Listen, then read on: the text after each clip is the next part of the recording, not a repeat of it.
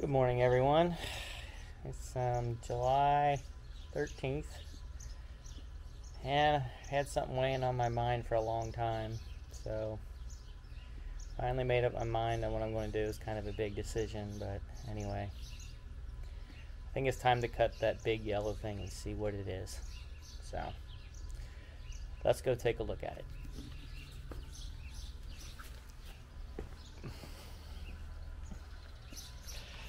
First of all, why did I decide to cut it today? I'll have to decide if it's a summer squash or a winter squash. And from the looks of it, it almost looks like a a yellow squash. Because now it's almost looking like a yellow pumpkin. Maybe I'll change my mind. We'll see. Um, the second reason that I decided maybe I should cut it is because I have more growing. So if I do mess it up, I'll have backup.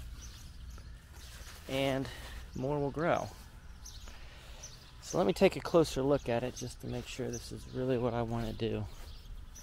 But if that's a yellow pumpkin, it's probably the coolest thing ever. And I should let it go. So there it is. It's got pretty big.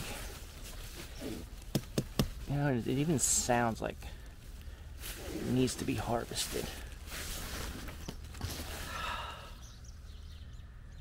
Okay, let's do it. Let's just cut it off. No, more will grow. Of course, I don't think this is big enough to cut it off.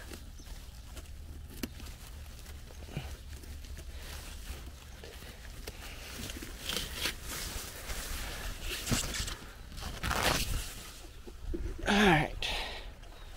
There it is. No turning back now.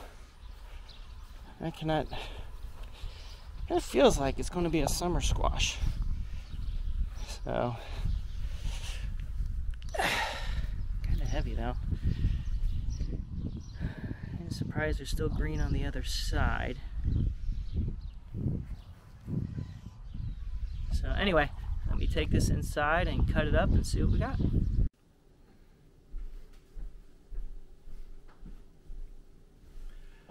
Okay, so now let's cut this thing open. Let's see what's inside. It actually is green on one side, which was down low, so I don't know about that, but anyway, top part was done. Let's see what this inside looks like. Cuts very easy.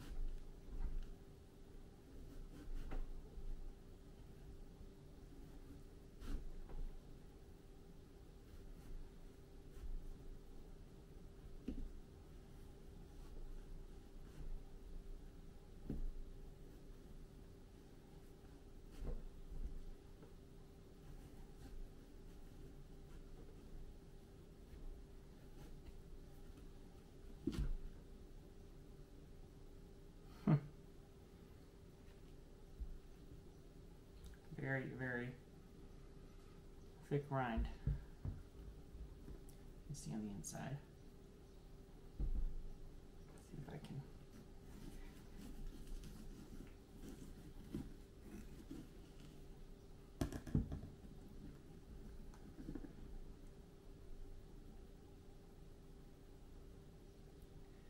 Zucchini seeds.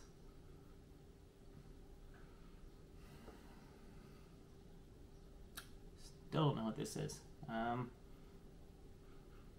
smells like a pumpkin,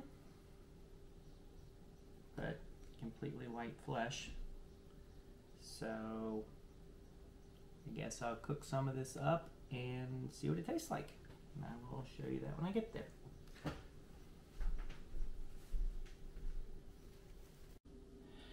Okay, so here's the finished product. Um, I actually ate this a couple days ago, just getting around to filming it now. It was pretty much flavorless. All I did is I put olive oil and some salt on it and baked it, and it was pretty much flavorless. So, I mean, very edible. I would eat it again, um, especially if you spice it up just right. I would say the consistency was almost that of spaghetti squash. Let's see up there where it's looking a little like spaghetti squash. Um, but anyway, um, I would say this is probably more of a summer squash than a winter squash. I really won't know for sure until I let the other ones ripen. So anyway, that is my mystery yellow squash and what I did with it. Um, hope you liked it and thanks for watching.